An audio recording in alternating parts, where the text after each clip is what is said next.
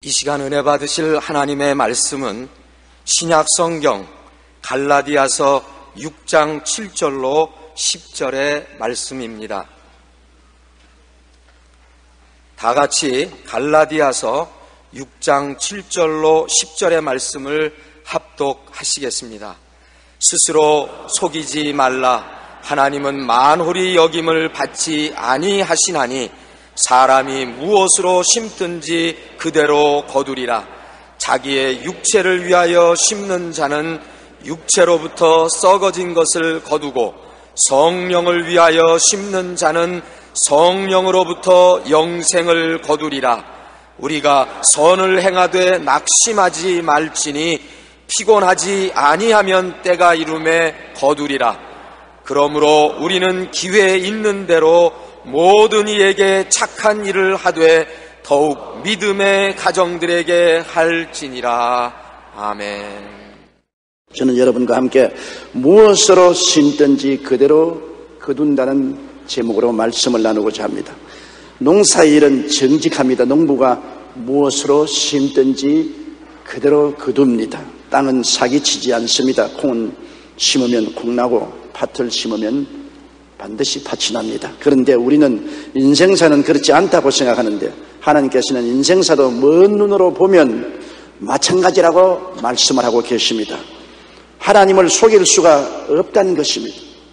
인생사도 심은 대로 삶의 과정 중에서 거두게 된다는 것을 성경은 우리에게 확실히 말씀해 주고 있습니다. 첫째로 심고 거두는 법칙은 에덴 동산에서부터 출발한 것을 우리는 알 수 있습니다. 사람의 마음은 밭이요. 하나님의 말씀은 씨앗입니다. 사람의 마음 밭에 하나님 말씀으로 심든지 사탄의 유혹으로 심든지 결과는 심은 것으로 거두게 된다는 것입니다. 아담과 하와는 하나님의 말씀을 가슴에 심지 않았었습니다. 하나님께서 아담과 하와를 위해서 아름다운 에덴을 준비해 주시고 먹고 입고 마시고 사는 일에 걱정하지 않게 하고 상함도 없고 해함도 없게 해 주셨습니다. 그러나 하나님께서 경고를 하셨습니다. 이 모든 하나님이 주신 영광을 누리는 조건으로 선악을 하는 실과 열매를 먹지 말라. 먹는 날에는 반드시 죽으리라. 이 하나님의 경고의 말씀을 마음속에 받아 심었어야 할 것입니다. 그랬다면 그들은 세세 천세 하나님의 은총과 영광과 복을 누리고 사망의 세력에서 해방되었을 것입니다. 그러나 그들은 그렇지 않았습니다. 악의 씨앗 즉 마귀의 유혹으로 그들의 가슴 속에 심었습니다. 하나님의 말씀을 심지 않고 마귀의 유혹의 말을 받아서 마음속에 심었습니다. 그 결과로 어떤 열매를 맺었습니까? 하나님과 원수가 되고 그 영이 죽고 에덴을 상실하고 이 세상에 쫓겨나서 죽음과 낭패와 절망의 열매를 거두게 된 것입니다. 창세기 3장 19절에 보면 내가 얼굴에 땀이 흘려야 식물을 먹고 필경은 흙으로 돌아가리니 그 속에서 내가 취함을 얻었음이라는 비극적인 결과를 갖게 된 것입니다. 사람이 무엇으로 심든지 그대로 거두는 것입니다. 하나님의 선한 말씀으로 심으면 생명으로 거두고 마귀의 유혹의 악한 말을 심으면 낭패와 저주와 실망과 죽음을 거두게 되는 것입니다. IMF로 온 나라가 경제적으로 어려움을 겪었지만 아직도 우리 사회는 탐욕으로 인한 사치와 과수비 풍조가 사라지지 않고 있습니다. 카드의 빚으로 신용 불량자가 된 사람들 중에도 이러한 욕심과 탐욕에 의한 경우가 참으로 많습니다. 올 들어 각종 신용 회복 지원에도 불구하고 신용 불량자의 수가 더욱 증가했습니다. 신용회복위원회가 지난 7월 19일부터 28일까지 전국 신용불량자 1,480명을 대상으로 설문조사를 한 결과 가족 중 신용불량자가 있느냐 하는 질문에 응답자의 63%가 그렇다고 대답했습니다. 이는 지난해보다 4.4% 늘어난 것입니다. 또 응답자의 83.8%가 신용 불황자가 된 이후 가족 불화, 이혼, 별거 등을 경험했다고 대답했는데 이 역시 지난해보다 2.5%가 늘어난 것입니다. 이처럼 탐욕으로 심으면 악의 사기 납니다. 탐욕의 대가는 절망이고 결국 사망의 열매를 맺게 되는 것입니다. 마귀는 아담과 하와를 뺀 제비를 예수님의 생애에도 실현해 보려고 했습니다. 예수님이 유대 광야에서 40주 40야 금식하시고 줄이 섰을 때 마귀는 탐욕으로 예수 그리스도의 마음에 심어 보려고 했는 것입니다. 마귀는 마태복음 4장 3절로 4절에 보면 시험하는 자가 예수께 나와서 가로되 내가 만일 하나님의 아들이여든 명하여 이 돌들이 떡덩이가 되게 하라. 예수께서 대답하여 가라사대 기록하였으되 사람이 떡으로만 살 것이 아니요 하나님 입으로 나오는 모든 말씀으로 살 것이라 하였느니라 하시니 이 말의 내용은 이것입니다. 마귀가 찾아와서 굶주린 예수님을 바라보고 정말 측은하고 불쌍하군요. 하나님이 왜 섭섭하게도 아들을 굶게 하는 것입니까? 그러니 하나님이 안 돌봐주니 당신이라도 직접 돌로 떡을 만들어 먹으세요. 예수님의 마음속에 하나님이 이렇게 굶주리는데도 먹여주지 않는다는 섭섭함을 넣으려고 하는 것입니다.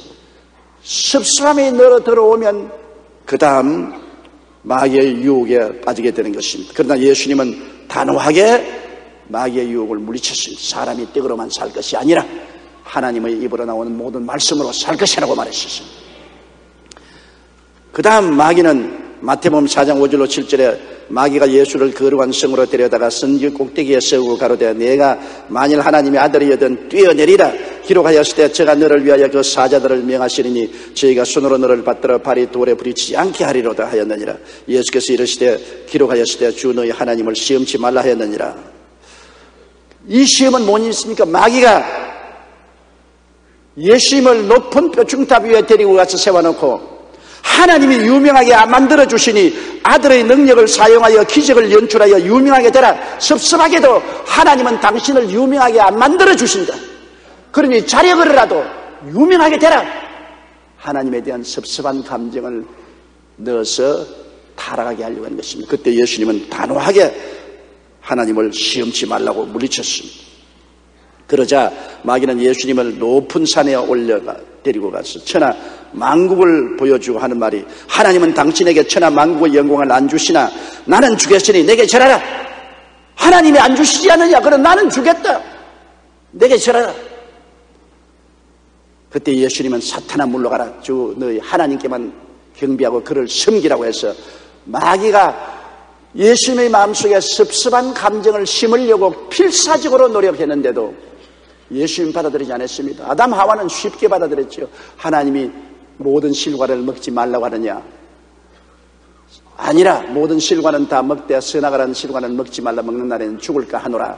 안 죽는다. 내가 이 실과를 먹으면 눈이 밝아 하나님처럼 될까? 하나님이 두려워해서 그렇게 하시는 것이다.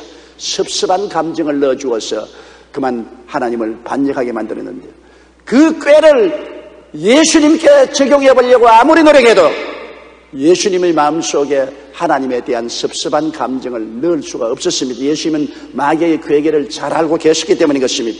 하나님께 섭섭한 마음을 갖게 하여 반역을 하도록 유혹의 씨앗을 뿌렸으나 예수님은 이 씨앗을 전혀 받아들이지 않았습니다. 이 씨앗은 그냥 바람에 날려가 버리고 말한 것입니다. 마귀는 예수님을 유혹하는데 실패한 것입니다. 미국의 유명한 전도자인 존 하갈은 성공적인 목회자가 되려고 하던 1950년에 아들이 갑자기 뇌성마비로 쓰러졌습니다. 그때 마귀는 와서 말했습니다. 네가 하나님의 종인데 하나님을 위해서 필생을 바쳐 일하려고 하는데 왜 네 아들이 뇌성마비로 쓰러졌느냐? 하나님은 안 계시든지 그렇지 않으면 무정하고 너무나 자기 백성을 돌보지 않은 무관심한 하나님이다. 섭섭한 감정을 목사님 속에 집어넣으려고 했습니다. 그런 이때 아들의 뇌성마비를 하나님의 저주로 생각지 않고 오히려 감사하며 이렇게 기도했습니다. 하나님, 아들의 병을 인하여 오히려 감사합니다. 저 아들로 인해 주께서 나를 겸손하게 만드셨고 남의 어려움을 도울 수 있는 마음이 생기게 하셨습니다. 또한 내 아들처럼 병고에 시달리는 불쌍한 이웃을 위해서 사랑을 베풀고 복음을 전할 수 있는 길을 열어주시니 감사합니다. 마귀가 섭섭한 감정을 넣어주려고 하는 것을 단호하게 뿌리치고 오히려 아들의 뇌성마비로 인하여 감사를 드렸습니다. 그러니까 하나님이 그를 기쁘게 바라주셔서 그 후 그는 세계적으로 유명한 전도자가 되었습니다. 어떤 경우에도 감사와 찬양으로 심으면 우리의 생각이 긍정적이 되고 꿈이 긍정적이 되며 믿음이 긍정적이 되고 말이 긍정적이 되어 그 결과 적과 꿀이 흐르는 열매를 맺게 되는 것입니다. 둘째로 우리가 무엇으로 심는지 항상 조심해야 됩니다. 우리의 마음이 밭이니까요. 하나님도 우리 마음밭에 심으시고 마귀도 우리 마음에 심어서 두적질하고 죽이고 멸망시키는 열매를 맺으려고 하고 있기 때문인 것입니다. 탐욕으로 심으면 죄의 삭신하고 사망의 열매를 맺습니다. 탐욕의 대가는 언제나 사망입니다. 야고보서 1장 15절에 욕심이 잉태한 즉 죄를 낳고 죄가 장성한 즉 사망을 낳느니라고 말한 것입니다. 골로새서 3장 5절로 6절에 그러므로 땅에 있는 지체를 죽이라 곧 음란과 부정과 사욕과 악한 정욕과 탐심이니 탐심은 우상숭배니라 이것을 인하여 하나님의 진노가 임하느니라. 우리가 가장 경계해야 될 것이 탐욕인 것입니다. 자기의 분수를 뛰어넘어 욕심을 가지는 이 탐심이 우리를 파멸케 하는 씨앗을 심게 만들어 놓는 것입니다. 욕심이 잉태하면 죄를 낳게 되고 죄가 장성하면 사망을 낳게 되는 것입니다. 현재 우리나라 사람 10명 중에 4명이 복권 대박을 꿈꾼다고 합니다. 저도 가끔 복권을 한번 사볼까 싶은 생각이 날 때가 있습니다. 그만큼 복권에 대한 유혹은 강합니다. 미국의 한 언론사가 1천만 달러 우리나라 돈으로 약 120억 원에 달하는 복권에 당첨된 사람 70명을 대상으로 5년 후에 그들의 행복 지수를 조사한 적이 있습니다. 그런데 예상과 달리 80%에 달하는 56명이 당첨 이후 더 불행해지게 되었다고 대답했습니다. 처음에는 집과 차를 바꾸어서 좋았지만 결국 돈 때문에 싸움이 일어나서 가정이 파탄되고 만 것입니다. 반면 복권 당첨 후 행복해졌다고 대답한 소수의 사람들은 당첨금의 상당 부분을 교회에 헌금하거나 사회단체에 기증했다고 말했습니다. 백만장자 앤드류 카네기는 세상에 돈이라는 우상보다 사람을 더 타락시키는 우상이 없다고 말했었습니다. 맞습니다. 무엇이든지 탐욕으로 심으면 악의 삭시 나게 되고 그 결과는 파탄을 가져오게 되는 것입니다. 우리가 불평과 원망으로 심으면 불행과 실망과 실패로 거둡니다. 우리 마음속에 뭐 불평 좀 하고 원망 좀 했다고 무슨 큰 대수가 될 것이냐고 생각하지만은 그것이 씨앗입니다. 원망도 씨앗이요, 불평도 씨앗이요. 이 씨앗을 나의 마음의 밭에 심는 것입니다. 그냥 지나치는 것이 아닙니다. 사람이 무엇으로 심든지 그대로 거둔다고 말씀하라고 있는 것입니다. 부정적인 생각과 꿈과 믿음과 말을 심어 놓으면 우리의 삶은 광야로 들어가게 되는 것입니다. 이스라엘 백성이 항상 하나님을 원망했습니다. 그래서 그들은 광야를 떠나지 않고 광야에서 전부 다 소멸되고 마는 것입니다. 민수기 14장 27절로 29절에 보면 나를 원망하는 이 악한 회중을 내가 어느 때까지 참으랴 이스라엘 자손이 나를 향하여 원망하는 밖에 원망하는 말을 내가 들었노라 그들에게 이르기를 야외의 말씀에 나의 삶을 가리켜 맹세하노라 너희 말이 내 귀에 들린 대로 내가 너희에게 행하리니 너희 시체가 이 광야에서 엎드러질 것이라고 말한 것입니다. 원망과 불평은 결국 하나님과 원수가 되게 하고 하나님의 진노를 격발해서 큰 환란을 당하게 만들어주는 것입니다. 민수기 11장 1절로 2절에 백성이 야외의 들으시기에 악한 말로 원망하며 야외께서 들으시고 진노하사 야외의 불로 그들 중에 붙어서 진 끝을 사르게 하시며 백성이 모세에게 부르짖음으로 모세가 야외께 기도하니 불이 꺼졌더라고 말한 것입니다. 또 보면 백성이 에돔 땅을 돌러가는 것에 마음이 상해 애굽에서 인도하여 광야에서 죽게 하는 거 식물도 없고 만나도 싫다고 불평하자 하나님이 불뱀을 보내셔서 그들을 물게 하며 불뱀에 물려서 많은 백성이 죽었습니다. 원망과 불평은 하나님의 심판을 격발하게 되는 것입니다. 그렇기 때문에 마귀는 우리에게 자꾸 원망과 탄식을 하게 만들어서 하나님의 진노를 당하도록 유도를 하는 것입니다. 우리는 사람의 무엇으로 심든지 그대로 그음으로 원망과 단식으로 심지 말아야 됩니다. 많이 심으면 많이 거두고 적게 심으면 적게 거둡니다. 안 거둘 수는 없는 것입니다. 성경에는 스스로 속이지 말라. 내가 심어도 안 거둘 것이라고 속이지 말라는 것입니다. 사람이 무엇으로 심든지 그대로 거둔다고 말씀하라고 있는 것입니다. 감사와 찬양으로 심으면 생각이 긍정적이 되고 꿈이 긍정적이 되고 믿음이 긍정적이 되고 말이 긍정적이 되고 그 결과 젖과 꿀이 흐르는 땅으로 들어가게 되고 열매를 맺게 되는 것입니다. 마태복음 25장 29절에 무릇 있는 자는 받아 풍족하게 되고 없는 자는 있는 것까지 빼앗으리라. 있는 것을 가지고 감사하면 하나님은 더 있게 만들어 주시고 있는 것조차 보지 않고 자꾸 없는 것으로 불평을 하면 있는 것도 하나님이 모두 다 지하여 버리시겠다고 말씀한 것입니다. 헤럴드 러센이라는 미국 공수부대원이 2차 대전에 참여했다가 두 팔이 잘리는 부상을 당했습니다. 그는 나는 이제 쓸모없는 고기 덩어리라고 좌절과 절망의 인생을 포기했습니다. 그러다가 한 의사에게 전도를 받고 예수님을 영접했습니다.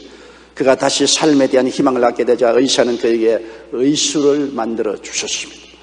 그래서 그는 인조 팔을 끼고서 열심으로 글을 쓰는 것을 배웠었습니다. 그리고 그리스도를 의지해서 그때부터 기쁨을 얻고 낙천적이 되고 소망차게 된 것입니다. 그 소문이 나자 몇 년 후 그는 우리 생애 최고의 해라는 영화에 출연 제의를 받고 그 영화의 상위 용사로 출연해서 열심히 연기했습니다. 그 결과 1947년 아카데미 조연상과 특별상을 동시에 수상했고 그 상금을 모두 상위 용사를 위한 자선 사업에 바쳤습니다. 한 번 어떤 신문 기자가 찾아와서 당신의 신체적인 조건이 당신을 실망치 않게 하느냐고 물었습니다. 이때 러셀은 아니요. 나의 육체적인 장애는 오히려 내 인생에 큰 복이 되었습니다. 나는 잃어버린 것을 계산한 것이 아니라 아직 남아있는 내 팔다리를 기억하고 하나님께 감사합니다. 좋은 말씀 아닙니까? 내 잃어버린 두 팔을 인하여 불평하지 않고 그래도 아직 남아있는 두 다리와 몸뚱아리를 인하여 하나님께 감사드린다. 맞습니다. 어떤 상황에도 하나님께 감사할 것들을 헤아리는 사람을 하나님은 절대 버리지 아니하시는 것입니다. 그 약점과 단점까지도 사용하셔서 주님이 높여주는 것입니다. 감사하니까 상위 용사가 되어 두 팔을 잃은 것까지 오히려 유익이 되어서 그는 유명한 배우가 될 수가 있는 것입니다. 빌리포스 4장 6절로 7절에 아무것도 염려하지 말고 모든 일에 기도와 간구로 너희 구할 것을 감사함으로 하나님께 아뢰라. 그리하면 모든 지각에 뛰어난 하나님의 평강이 그리스도 예수 안에서 너희 마음과 생각을 지키시라고 말씀하신 것입니다. 우리는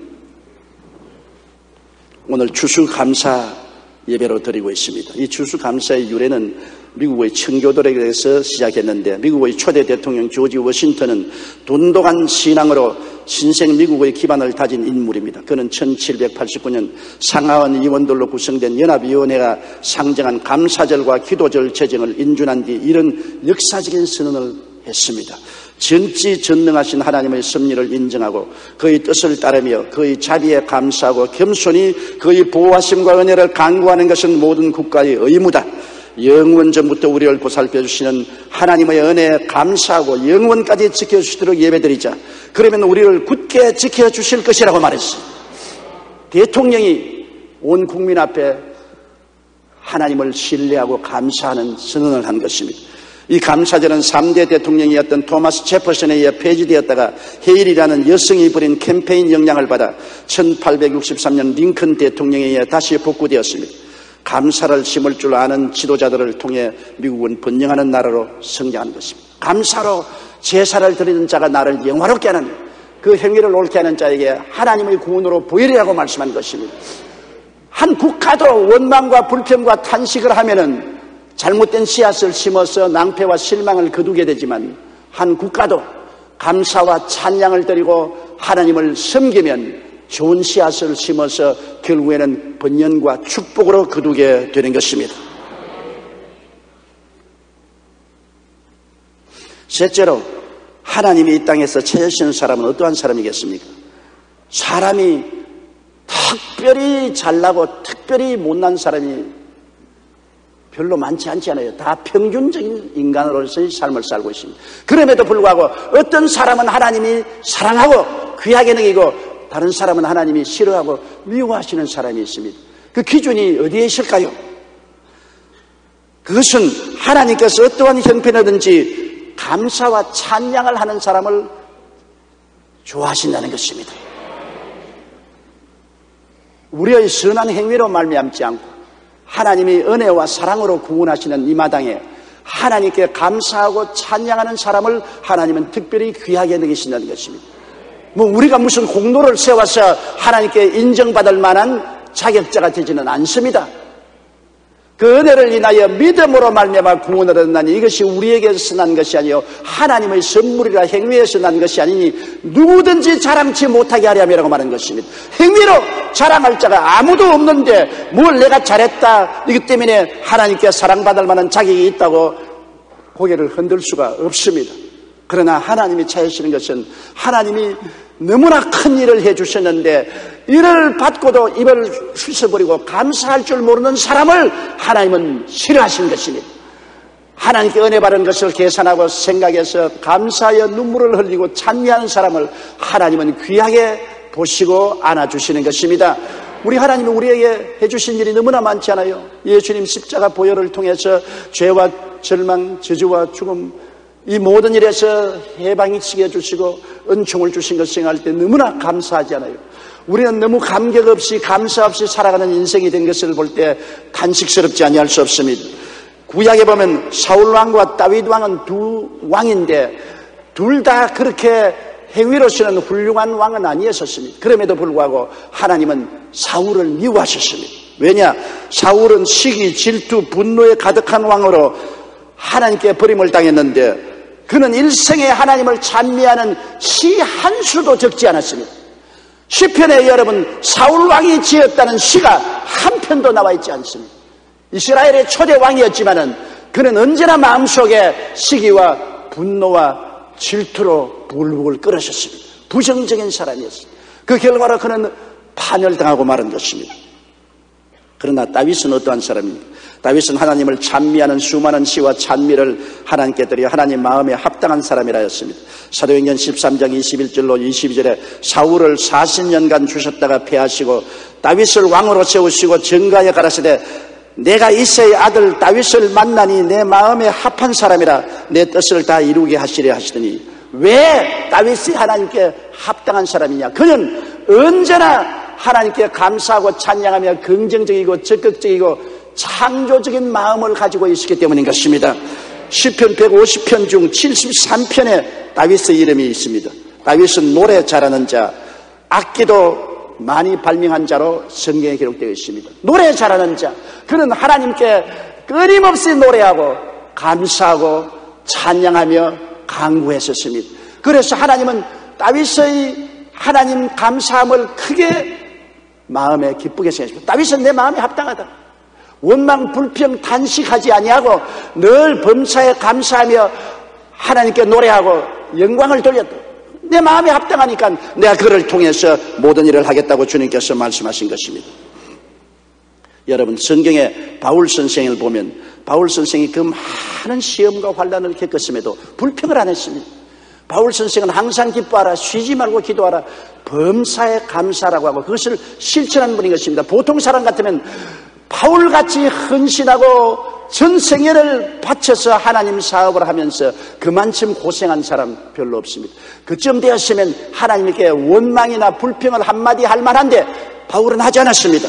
바울 선생은 복음 증가하다가 많은 고생을 했는데 고린도후서 11장 23절로 29절에 그가 이렇게 간정했습니다. 저희가 그리스도 일꾼이냐 정신없는 말을 하거니와 나도 더욱 그러하도다. 내가 수고를 넘치도록 하고 옥에 갇히기도 더 많이 하고 매도 수없이 맞고 여러 번 죽을 뻔하였으니 유대인들에게 40에 하나 감한 매를 다섯 번 맞았으며 세 번 태장으로 맞고 한 번 돌로 맞고 세 번 파선하였는데 일주일을 기품해서 지냈으며 여러 번 여행에 강의 위험과 강도의 위험과 동족의 위험과 이방인의 위험과 시내의 위험과 광야의 위험과 바다의 위험과 거짓 형제 중의 위험을 당하고 또 수고하며 애쓰고 여러 번 자지 못하고 줄이며 목마르고 여러 번 굶고 춥고 헐벗었노라. 이외에 일은 고사고 오히려 날마다 내 속에 눌리는 일이 있으니 곧 모든 교회를 위하여 염려하는 것이라. 누가 약하면 내가 약하지 아니하면 누가 실족하게 되면 내가 애타지 않더냐. 이처럼 많은 시험과 환란을 당해도 바울 선생은 늘 하나님께 감사하며 찬양했습니다. 그 대표적인 예가 그가 빌립보에서 복음을 전가하다가 잡혀서 늘 신하게 얻어맞고 빌립보 옥중에 깊이 가되었습니다. 양손 양발에 차고에 차이고 신라와 함께 밥도 굶고 매를 맞아 피가 흐르고 몸은 쓰리고 아픈데 밤중에 원망과 불평을 한 것이 아니라 기도하고 난 다음 하나님께 감사 찬양을 들었습니다. 쇠고랑을 철렁철렁 하면서 감사와 찬송을 드리는데 그 감사와 찬송이 얼마나 진실했던지 흉악한 죄수들이 같은 방에 있으면서 시끄럽다 소리 안 하고 다 그 찬송을 들었습니다. 그러자 하나님이 그 찬송의 장단을 맞춘다고 하면 두들겨니 지진이 일어나고 마는 것입니다. 빌립보 전 시가 뒤흔들리고 감옥문이 열리고 착고가 다 풀리고 하나님의 영광이 나타난 것을 보는 것입니다. 그런 어려움 가운데도 원망과 불평하지 않고 감사와 찬양을 드린 것이 하나님의 마음에 감동을 주신 것입니다. 저는 리더스 다이제스트에서 에비 로빈슨이라는 사람에 대한 기사를 읽은 적이 있습니다. 에비 로빈슨은 트럭 운전사였는데 교통사고로 시신경을 다쳐서 시각장애자가 되어서 장님이 되었습니다. 그러나 그는 독실한 기독교인이어서 낙심하거나 절망하지 않았습니다. 오히려 하나님께 감사를 드렸습니다. 자, 교통사고로 실명을 했는데 보통 사람 같으면 다 원망 불평하죠. 하나님, 나는 하나님을 믿고 하나님의 자녀인데 왜 내가 교통사고를 나게 허락해 주셔서 실명되게 했습니까? 하겠는데 이 사람은 그렇지 않았습니다. 그는 저녁만 되면 자기 집 잔디밭에 앉아 무릎을 꿇고 늘 이렇게 기도했습니다. 하나님 아버지 오늘까지 빛을 주시고 생명을 주시고 여기까지 인도하여 주신 것을 감사합니다. 매일 이렇게 감사 기도를 하자 놀라운 일이 일어났습니다. 석 달 만에 그의 시신경이 회복되어 물체가 희미하게 보이기 시작한 것입니다. 지금은 완전히 회복되어 예전처럼 생활할 수 있게 되었다는 것입니다. 감사의 기도가 이런 기적을 베푸는 것입니다. 그 마음을 긍정적이고 적극적이고 행복하고 평안하게 만들어서 치료의 역사가 그 몸속에 넘쳐나서 시력이 회복되게 된 것입니다.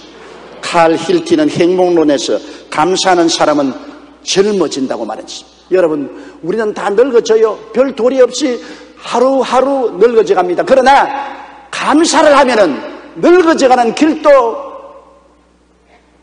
중지시킬 수가 있다는 것입니다. 원망 불평 탄식해 보십시오. 얼굴이 길쭉해지고 얼굴에 밝은 색깔이 없어지고 주름살이 지고 늙어지게 되는 것입니다. 감사와 기쁨은 인생의 기름칠을 해주는 역할을 해주는 것입니다.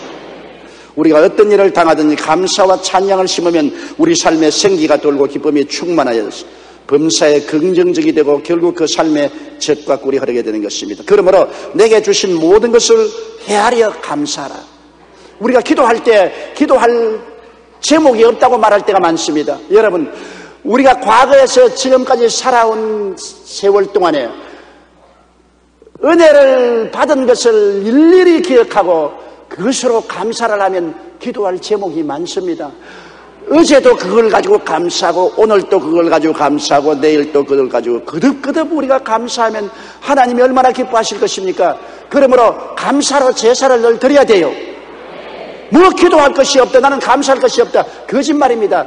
살아온 세월을 돌이켜 볼 때, 또한 예수 그리도 안에서 하나님이 우리에게 주신 큰 축복과 은혜를 생각할 때 왜 감사하지 않을 수가 있어요? 다른 기도할 것 없으면 일일이 손가락으로 헤아려서 감사를 해야 돼요. 제가 잊을 수 없는 것은 제가 평신 돌 때 미국의 선교사 리처드 목사님이 세워서 목회를 하는 부산 순복음 교회에 출석했습니다. 그게 피란 내려온 과부가 있어요. 그 과부 할머니는 그 딸이 여선생이었는데 실연을 해서 정신병자가 되었어요. 지금 내가 생각할 때 그 할머니가 한 70세쯤 되는데 그 정신병자가 된 딸이 한 30세 됐는데 그 딸을 늘 손을 잡고 교회에 와서 기도하고 또 손을 잡고 집으로 돌아가요. 그 70세 어머니가 없으면 이 딸은 완전히 식물인간이요. 그저 휘직휘직 웃고 아무것도 못해요. 그런데 저는 특별히 마음속에 이협심이 생겨서 그 할머니가 교회에 오면 특별히 안내해서 좋은 자리에 앉히고 했는데 그 할머니가 늘 눈물을 흘리면서 하나님께 감사하는 것을 보고 그때는 이야기 생했습니다. 피란 내려오면서 온 가족 식구 다 잃어버리고 외딸 하나 의지하고 살다가 그 외딸이 정신병자가 되었는데 그 외딸을 끌고 교회에 와서 눈물을 흘리면서 감사를 자꾸 해요. 그래서 제가 그 할머니에게 물었습니다. 할머니, 제가 보기에는 감사할 조건이 하나도 없는데요. 왜 때리기만 하면 눈물로 흘리고 감사합니까? 왜 젊은이 감사할 것이 없어? 나는 처녀 때부터 지금까지 살아온 옛날을 다 캐서 손으로 꼽고 감사한다오. 현재 감사할 것이 없어도 옛날 처녀 시절에 예수 믿고 북한에서 살다가 피란 내려와서 지금까지 지낼 수 있도록 해준 하나님의 은혜를 하나하나 전부 기억하고 캐내어서 손가락으로 짚어가면서 감사한다고 그랬었습니다.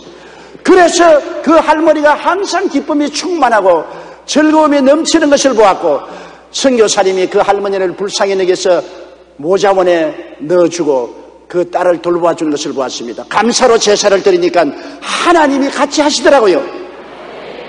과거에 살아온 모든 것을 손꼽아 짚어가면서 감사하는 말이 지금도 저희 가슴 속에 기록되어 있습니다.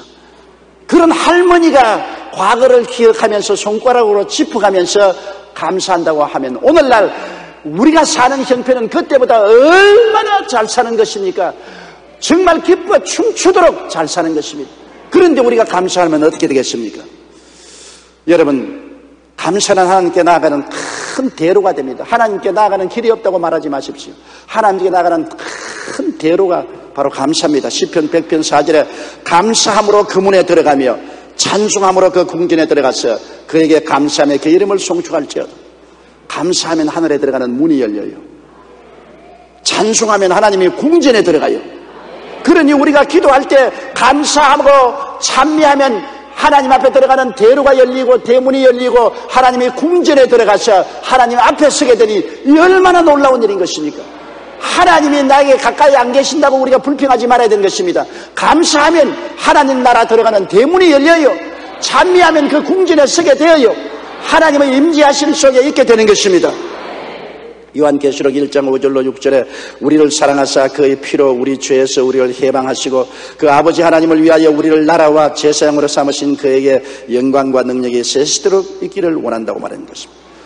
죄에서 해방해 주시고 하나님 앞에서 우리를 하나님 나라와 제사장으로 삼아 주시고 영광을 주신 하나님을 생각할 때 우리가 하나님께 감사하지 아니할 수가 없는 것입니다.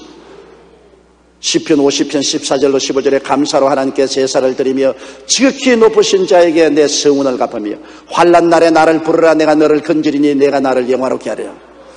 감사로 제사를 드리는 자는 환란 날에 주님이 함께하여 건져주고 영화롭게 해주겠다고 말한 것입니다.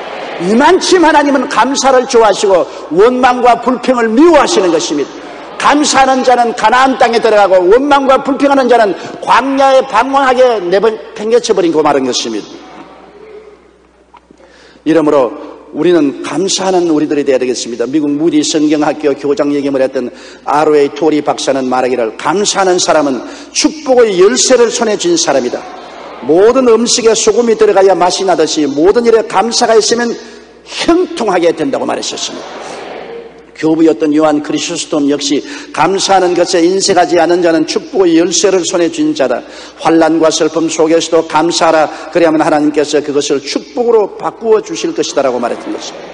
우찌무라 간조는 감사하는 마음이 생기지 않은 메마른 마음을 가지게 되는 것은 저주라고 말했었습니다.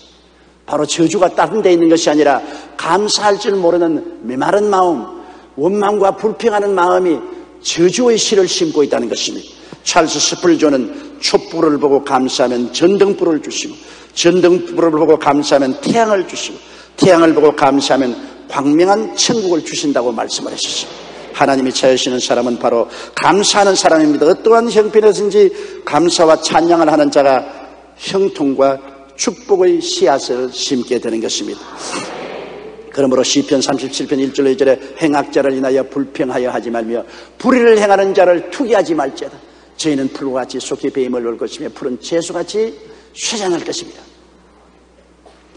시편 37편 4절에 또 야외를 기뻐하라 제가 내 마음의 소원을 이루어 주시려 내게 불의를 행하고 나를 고통하는 사람이 올지라도 원망과 불평하지 말고 오히려 하나님을 기뻐하고 감사하면 하나님이 우리를 형통케 해주시겠다고 말한 것입니다. 우리는 하나님을 바라보고 사는 사람인 것입니다. 하나님이 나를 위하시면 사람이 내게 어찌하리요? 그 아들을 아끼지 않고 내게 주시니까 아들과 함께 무엇을 선물로 주지 않겠느냐? 우리의 살고 죽는 것도 하나님께 달려고 일어서고 넘어지는 것도 하나님께 달렸습니다. 우리가 나아가고 나아가지 않는 것도 하나님께 달렸습니다. 우리는 하나님이 태가신 족속이요 왕 같은 재상이요 거룩한 나라요 거의 소유된 백성인 것입니다. 하나님이 우리의 모든 삶에 관여하고 계십니다. 우리는 하나님과 함께 인생을 사는 사람들입니다. 그러므로 이 하나님을 우리는 어떠한 일에 쓰나 감사하고 찬미하고 예배드리면 하나님이 우리를 이끌어 가십니다. 눈에는 아무 전가 안 보이고 귀에는 아무 소리 안 들리고 소연 잡히는 건 없고 내 앞길 칠흑같이 어두워도 나의 삶은 내가 사는 것이 아니라 하나님과 함께 사는 인생인 것입니다. 그러므로 우리가 하나님께 감사와 찬양을 드리면 하나님은 우리에게 하나님의 영광을 보여주시는 것입니다. 우리 예수 믿는 사람은 어떠한 일이 있어도 마음에 하나님에 대한 섭섭함을 가져서는 안 됩니다. 마귀는 아담에게 섭섭한 감정을 넣어서 탐욕을 갖고 타락하게 만들었습니다. 예수님에게 아무리 섭섭한 감정을 넣어주려고 해도 예수님은 그를 받아들이지 않고 배격했습니다. 우리가 어떠한 내게 손실되는 일이 있고 고통스러운 일이 있어도 하나님을 원망해서는 안 됩니다. 하나님을 사랑하는 자, 곧 뜻대로 부르심을 입은 자들에게는 모든 일이 합력하여 선을 이루게 되는 것입니다. 하나님은 악을 선으로 바꾸시는 하나님인 것입니다. 먼 눈을 바라보고 하나님을 의지하고 좋은 일이나 나쁜 일이나 성공할 때나 실패할 때나 건강할 때나 병들 때나 모든 일에 하나님께 감사하는 여러분 되시기를 주의 이름으로 축원합니다. 범죄 심리학자인 소프 박사는 형무소에 있는 죄수와 수도원에 서는 수도사의 차이를 이렇게 말했습니다. 형무소에 있는 죄수도 형무소에서 밖으로 못 나갑니다. 수도원에서 수도하는 수도사도 수도원 밖으로 못 나가니 갇혀있는 삶은 똑같은 처지인 것입니다. 형무소에 있는 사람은 하루 종일 불평과 요구만을 말합니다. 수도원에 있는 수도사는 하루 종일 감사의 기도를 드립니다. 하나님을 믿는 기독교인도 만일 감사의 기도 대신 요구와 불만의 기도만을 드린다면 눈에 안 보이는 형무소에 들어와 있는 죄수와 같은 것입니다. 형무소에 있는 죄수는 감사하지 않습니다. 늘 원망과 불평하죠. 그러나 똑같은 수용소에 있는 수도사는 하루 종일 성경 읽고 하나님께 예배하고 감사하죠. 똑같은 처지에서도 그 마음의 태도는 다릅니다. 고립되는 점에서 감옥은 수도원과 비슷합니다. 그러나 그에 대한 반응이 어떠냐에 따라 큰 차이가 생깁니다. 바울과 신라는 감옥에 갇혔지만 제수와 같이 행동하지 않았습니다. 오히려 수도원에 있는 수도사처럼 하나님을 찬양하고 감사했던 것입니다. 이런 사람이 바로 하나님이 찾으시는 사람이신 것입니다. 좋은 환경에 우리가 감사는 다 할 수가 있습니다. 좋은데 왜 감사 안 해요? 안 좋은데, 고통스러운데, 그래도 감사하는 이것이 위대한 신앙인 것입니다. 우리는 그저 살아있는 것만 해도 감사하기 짝이 없어요. 사람은 하루에 무려 2만 3천 번을 숨쉬고, 심장은 보통 10만 4천 번을 뜁니다. 우리 몸속에 혈액이 하루에 달리는 거리만도 1억 6,800만 마일, 미터로 환산하면 2,700억 미터입니다. 또한 사람이 하루에 사용하는 두뇌 세포만도 700만 개가 넘습니다.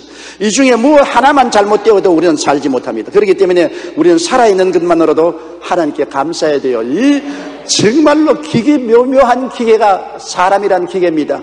이 복잡한 기계가 참 질서 있고 조화 있게 움직여 나가서 우리가 살아 있고 오늘 예배 드릴 수 있다는 이것만 생각해도 감사해야 될 것입니다. 우리가 악과 불의로 심으면 일시적으로 흥하는 것 같으나 종극적으로 파멸을 거두게 되면 역사와 인류의 경험이 증명합니다. 악과 불의를 심어놓고 잘 되는 것 같아도 결국에 무엇으로 심든지 그대로 거두기 때문에 파멸을 거두게 되죠.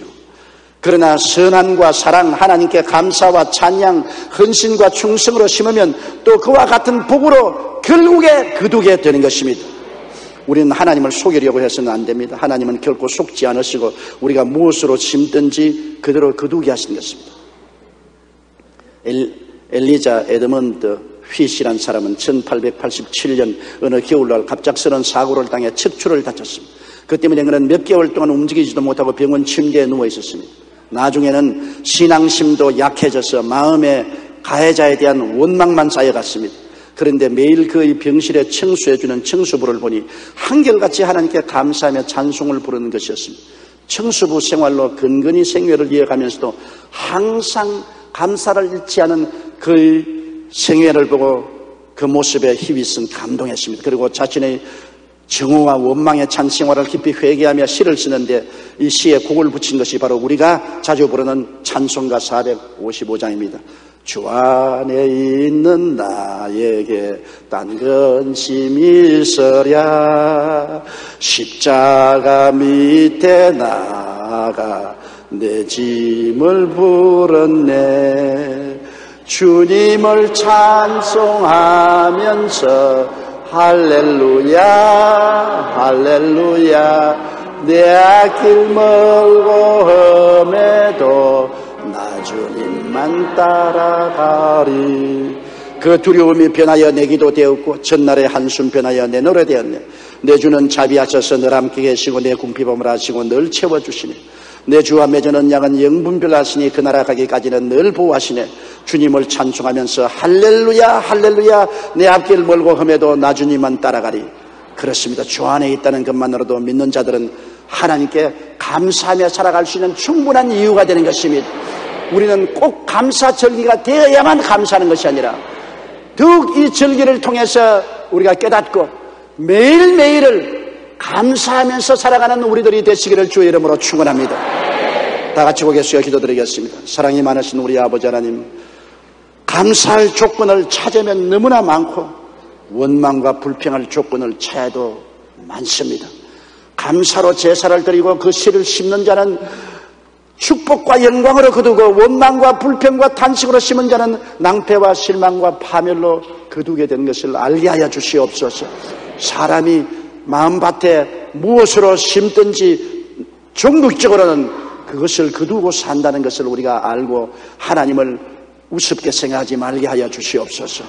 우리 아버지여, 우리 주 예수를 주신 하나님을 너무나 감사하고 찬양하며 하나님의 기적을 허락하신 많은 일에 감사하고 찬양하며 좋은 씨앗을 심는 우리들이 되게 도와주시옵소서. 예수님 이름으로 기도드리옵나이다. 아멘.